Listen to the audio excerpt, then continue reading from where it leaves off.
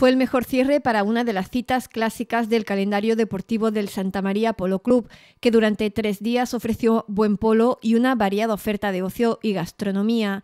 La final estuvo muy disputada con oportunidades para ambos equipos, en una ventosa jornada que dio paso a un cálido sol de primavera hasta el final del juego. Tras minutos de suspenso por una caída, el cuarteto de Sapphires Basewater, que llegaba invicto a la final, se impuso a Jolly Rogers, King of Polo, por cinco goles a tres. En la lucha por el tercer y cuarto puesto, Iron Bridge venció a Don Carlos X Events en un ajustado partido por cinco goles a cuatro, disputado previamente a la final también en las canchas de Los Pinos. A medida que avanzaba la mañana y se imponía el sol, se fueron congregando más espectadores en torno a las zonas de juego. Tras la final llegó el momento de la entrega de trofeos a los ganadores y la degustación para todos los asistentes del tradicional asado argentino elaborado por el restaurante La Quinta.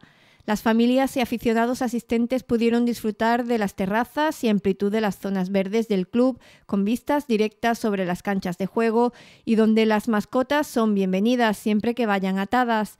Con el Memorial Conde de Huaki son ya tres los torneos celebrados en el Santa María Polo Club en lo que va de año. En este mes de abril y durante toda la primavera hay programados otras competiciones cada fin de semana, entre las que destaca el Memorial Doña María de las Mercedes en junio. En verano llegará el Torneo Internacional de Polo, uno de los cuatro del Gran Slam, que reúne desde hace 47 años a los mejores polistas del mundo.